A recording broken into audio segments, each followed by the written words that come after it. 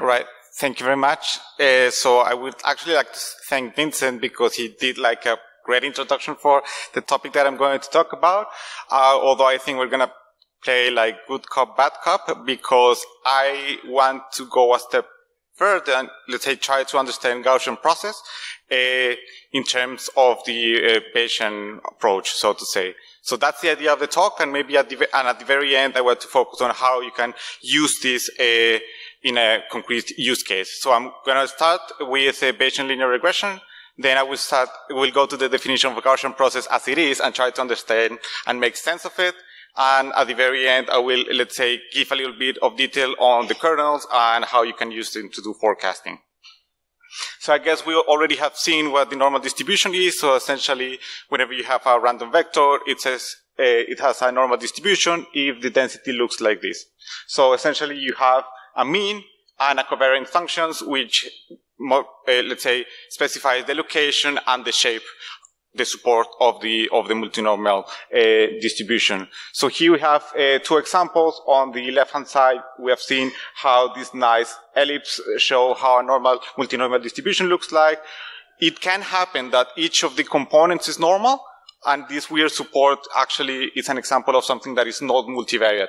So here you can see that uh, the devil is uh, in the details, so I want to, uh, let's say, point out uh, some of these things. So let us start with the basic linear regression. So what I do have here is uh, around 100 data points, which I generated uh, with random noise. And let's say the model has an intercept 1 and a slope 3. And I just want to know what's the best fit for that. So what I want to do is uh, get the intercept and the, the, the slope. But actually I can, I can, do more or aim for more just by trying to find the distribution of the parameters in the, say, the Bayesian point of view. Uh, and how do I do that? Well, I do that through the Bayes theorem, which says that if uh, I have this set uh, of data and I model it as with random noise, then you can find the parameter distribution as a posterior, which is proportional to the likelihood times the prior. That's the Bayesian game. So for uh, the prior of the parameters, I'm going to select a, a multinormal distribution, which I, in this case has dimension two. So the uh, intercept and the slope. Uh, and before, let's say, seeing the data, I'm going to sample from the prior distribution to see which are the possibilities that I have. So the game is as follows. I have this specific matrix uh, 2112, which I decided to take because that's my prior knowledge, and I just sampled from that. So I took what sample from the multinormal distribution that gives me two values, the slope, uh, the intercept and the slope, and I draw a line. And I do this many times uh, by sampling from this multinormal distribution, and what I get is are all of these lines. So these are all the possibilities that I can actually get from the specification of this prior. But now, uh, this is just from my prior knowledge. I actually want to see how the data might affect that, and this is going to be encoded uh, in what's called the likelihood function, which is uh, essentially the probability of the data given the input x and b. And it turns out that this is a, a multinormal distribution again. So in Bayesian uh, analysis, uh, getting the posterior distribution is sometimes uh, not easy. And instead of doing the math, you actually sample from it. So you can run a um, Monte Carlo a simulation to try to estimate the posterior distribution of these parameters. So what we see here is that uh, the estimation with the sampling approach of beta zero is around one is okay and also we have like the, the standard deviation saying, okay, how certain we are of, uh, of getting those values, and we are, have something uh, similar for the, for the slope. Uh, but uh, the, actually the, the multinormal distribution, the Gaussian distribution has such a nice properties, which it's really strange, but a lot of the results can be obtained analytically. So uh, instead of sampling, if you do a little bit of math, just a little bit, then you can show that the posterior distribution of this parameter is again a Gaussian. And I guess maybe what it's important is that the mean is somehow proportional to this product. And maybe you can see that this is essentially capturing the OLS uh, solution of, of the linear regression. So essentially it's hidden in the mean.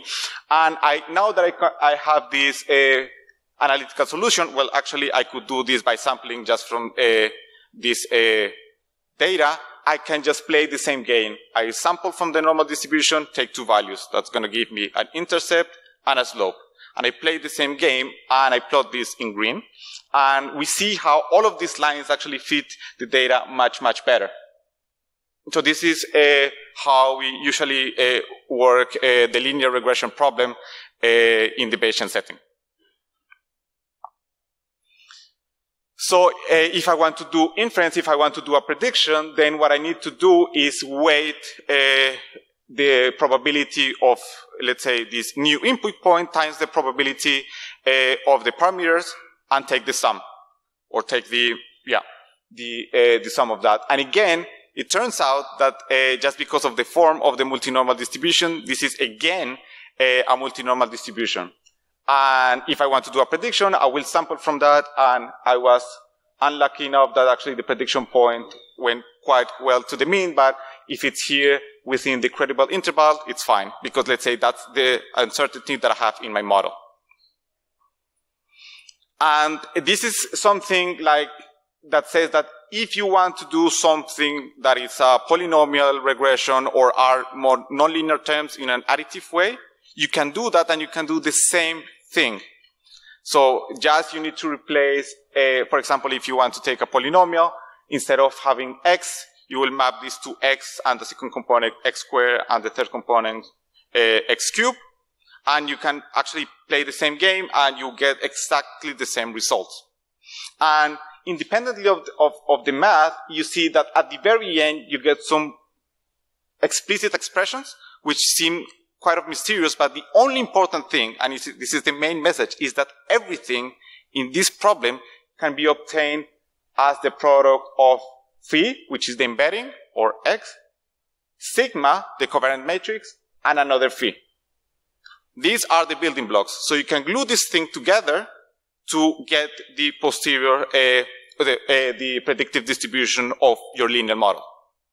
So essentially, if you have that, you have the solution of your problem.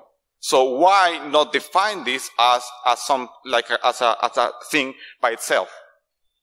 So we define the covariance function or kernel in this specific case as a function that takes two points, uh, and it just apply the phi to x, or you can just think it as a, as a vector in the, as x in the linear model, multiply it by the covariance matrix, and then multiply it uh, by phi of the second point.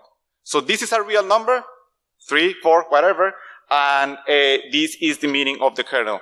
Uh, and we, it's important because it specifies the solution of your linear model. And this little phi here, it's what is called the kernel trick, where I can just embed this, uh, let's say, polynomials into uh, uh, the x into a polynomial space, but at the very end, you don't care about it itself, you just care about the kernel. Right? So yeah. So when I also first read the, this, the, the definition for a Gaussian process, I was super confused. And the reason I'm giving this talk is to try to see how much I can understand this. I, and I did want to match the definition that I found in Wikipedia with some experiments uh, that I'm going to show you in a second.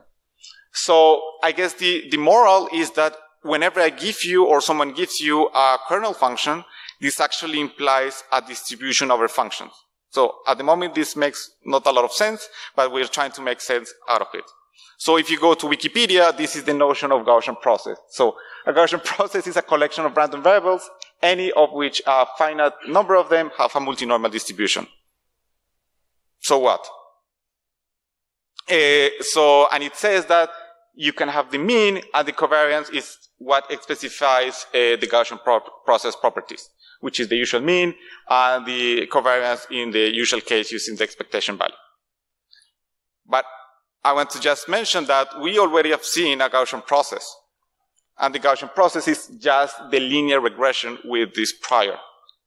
So uh, let us see why if I take a prior, which is a normal with mean zero and sigma as the covariant matrix, and I take this product with a, yeah, this a phi, or even the vector. This is a linear combination of normal distribution, which by definition, since this thing is multinormal, is a, a joint, a, it, it, defines a, a joint multinormal probability. So this is a Gaussian process in this definition, and it has mean zero, and the covariance given by Wikipedia's definition actually coincide with the natural, uh, let's say, brick, uh, which we define via the simple linear regression, right?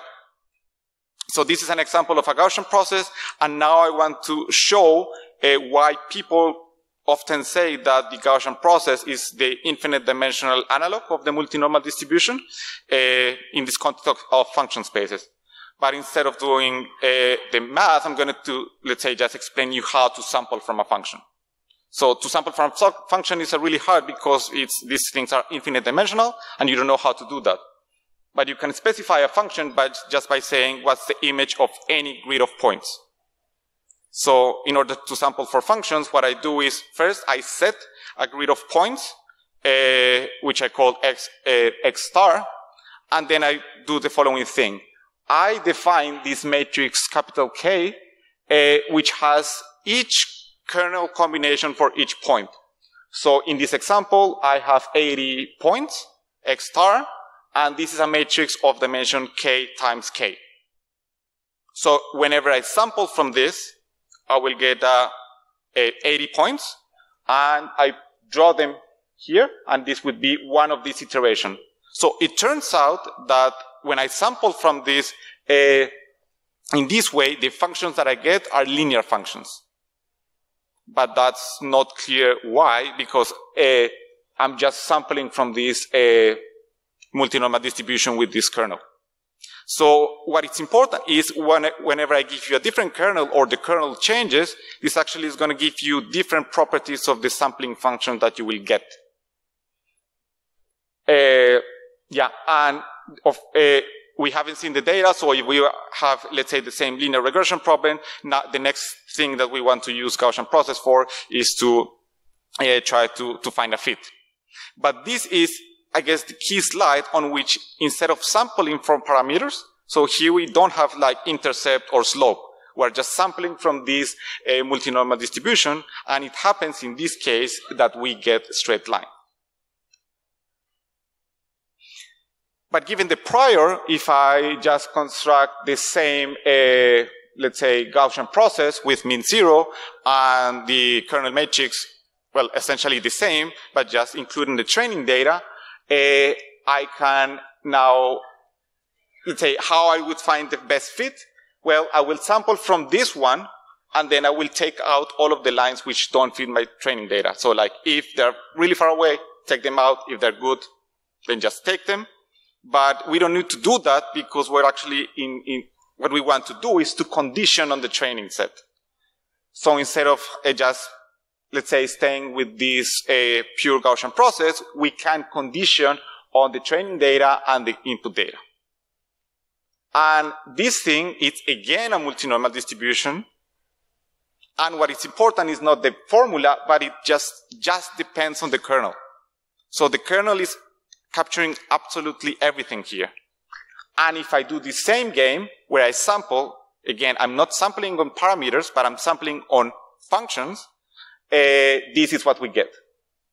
So if you, let's say, work out these formulas, this is exactly the same, these are the, exactly the same expressions as the Bayesian linear regression. They're exactly the same. The only thing that changed was the point of view on which uh, I forget about the parameters and I start sampling uh, in this Bayesian way in a space of functions. And that for me is when I began understanding what a Gaussian process was actually doing.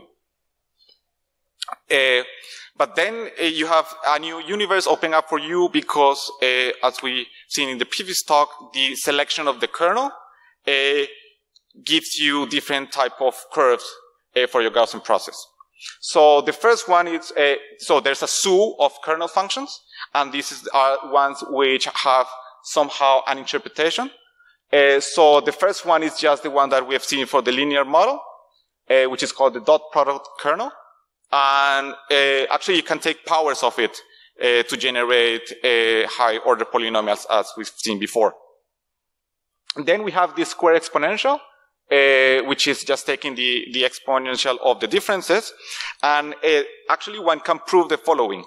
If you take your linear regression, with these uh, polynomial terms like x, x squared, x cubed, and you take all of the polynomials, the kernel that you will get from this linear regression in the limit is this one. So the uh, square exponential can be thought as the natural kernel coming from a linear regression with infinite polynomials. And that's why uh, all of these lines drawn from this Gaussian process are really smooth because a natural question is like how smooth these lines are going to be. Because as we're seeing the interaction uh, between the points depend that all of these kernels uh, depend essentially on the difference. It doesn't need to be like this. But uh, if you want for whatever application control the smoothness, then you want to go for something which is uh, maybe a rational quadratic kernel. And this has another intuition or like a way of, uh, let's say, thinking about it. So it actually, it's a weighted sum of square exponentials, right? And as we have seen, uh, you can also model periodic signals by introducing periodic functions like the sine function. So let us try to see uh, an example on which uh, this uh, can be applied to the nonlinear setting. So it's not important about the, the function that I'm taking. It's a sum of uh, sine functions. But if you are giving this, trying to fit a linear model by yourself, trying to get the features, like is it like cubic or like or, or polynomial order four? Well, actually, this is where Gaussian processes can come really handy. So what I'm doing here is just generating random noise out of this nonlinear curve, and I want to see how I could fit the points. So it's uh, essentially the same game. I have my prior, and the kernel that I'm going to use is the square exponential. Uh, so there's a little bit of code you can unfortunately not see, but I will share this, and I promise uh, it was, you can actually run these notebooks. And uh, what is important is that I'm uh, running a, a, sample from this distribution. Here I have 80 points where I want to test, and then I do the selection and I plot the images. And you see that in this Gaussian process, we get a lot of these uh, complex and curly curves. And uh, in the, the, fact that there's some curvature and complexity is just because this is a different kernel. Uh, and different kernels gives different natures on, on, on the curve space. So these are all your possibilities. So now let's see uh, how, let's say, the joint distribution looks like. And as we have seen, uh, the kernel just depends on the differences. And that's why if I plot a heat map of this uh, join, uh, of the covariance of the join uh, distribution, this is how it looks. But actually we're interested in this little square on which is the new data coming. And the only thing I need to do is to condition. And this is how the new uh, covariance uh, matrix would look like.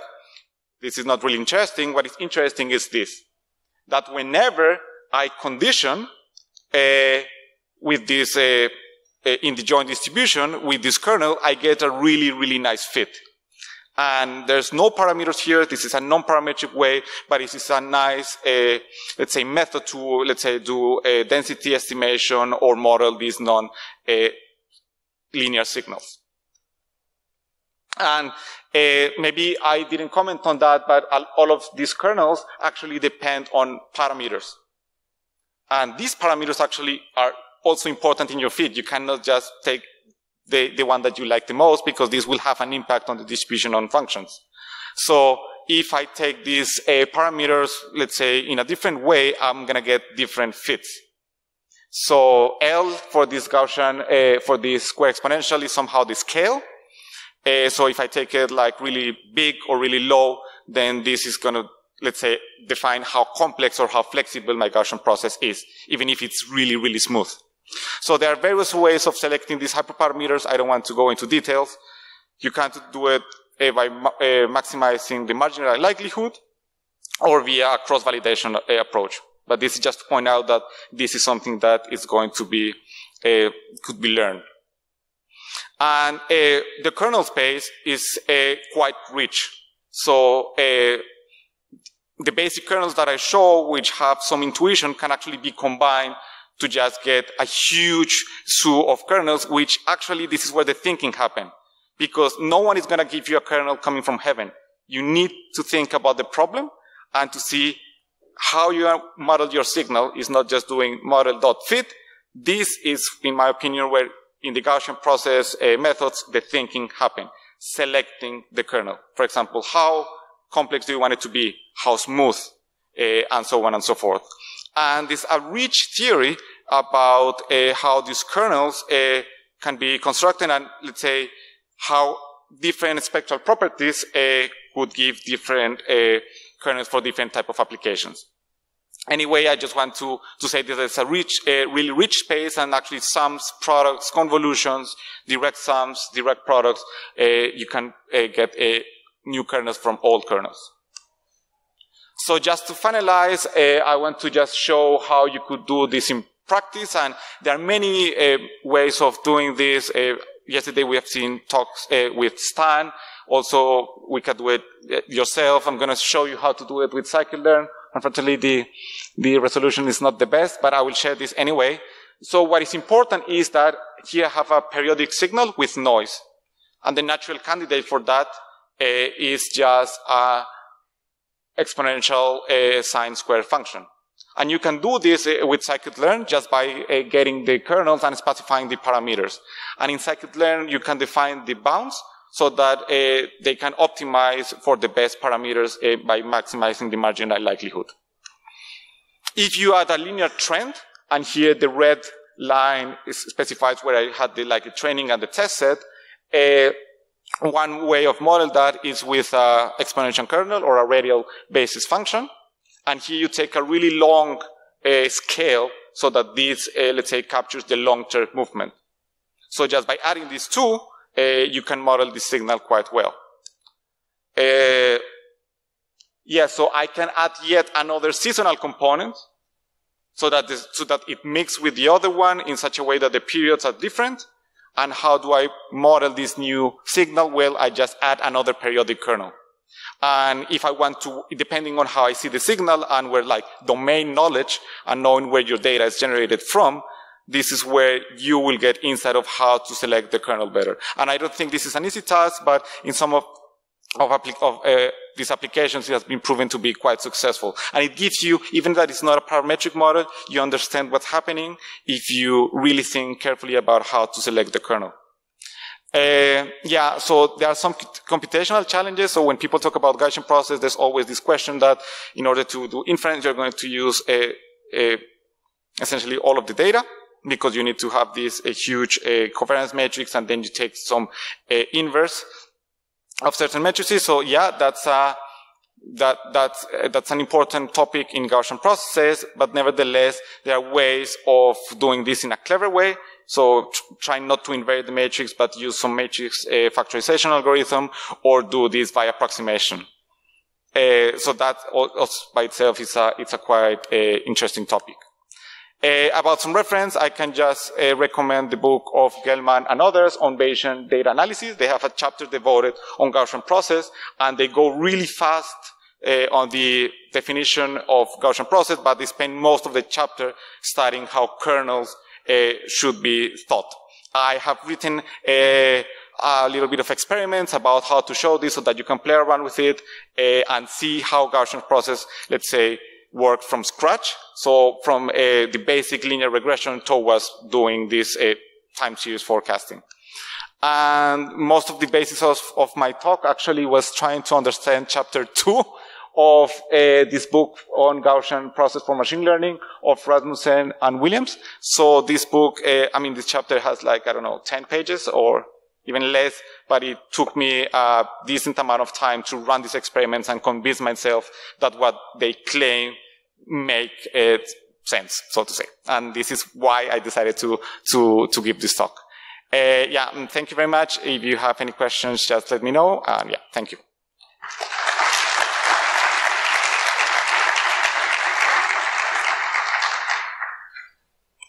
Okay, any questions?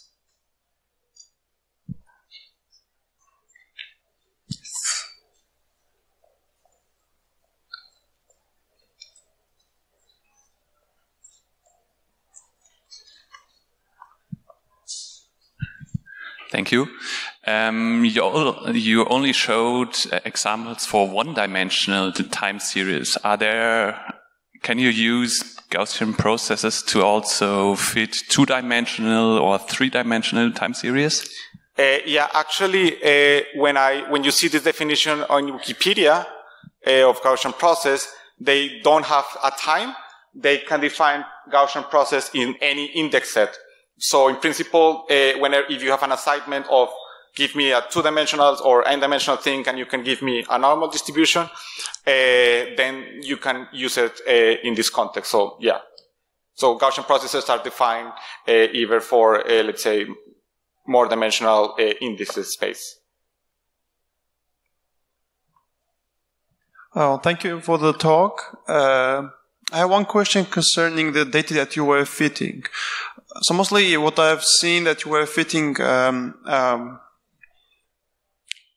some some data which can be fit also with um, standard uh, Fourier transform or the um, um, discrete value Fourier transform.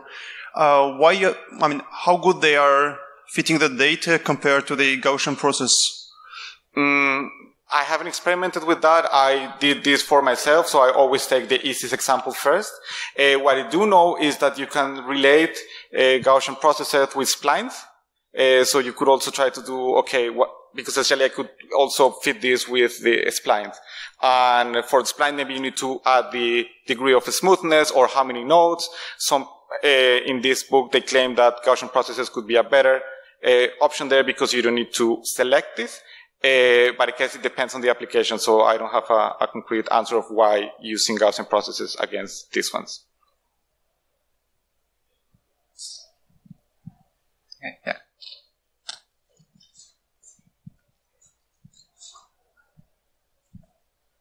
Uh, hi. So you have showed that the kernels have a kind of algebra, so you can add them and stuff. And then in applications, you figure out the best combination. So is there also a kind of basis within these kernels? I mean, that you just can stick with uh, the linear kernels or the polynomial kernels, and then you know that it will converge eventually, or is, do you have to? Mm, well, I guess uh, let's say once you talk about function spaces, this becomes uh, like an infinite dimensional space, right? So uh, I guess you could try to use some Hilbert space decomposition. Uh, but I don't think this is going to help you in practice because, uh, yeah, then you need to specify, okay, how do I project these spaces into my concrete application? What I've seen is that people will go into the data and try, try to see how it was generated, get a domain knowledge, and from that, uh, for example, if you see that the amplitude should be increased with the trend, you will multiply your square uh, sine kernel with a radial basis kernel and you believe that smoothness is going to be uh, a, something important for you, then they can uh, control it by adding a, a, rational quadratic. So yeah, I guess it's more on the data knowledge and domain expertise rather than a general framework. Okay, last question.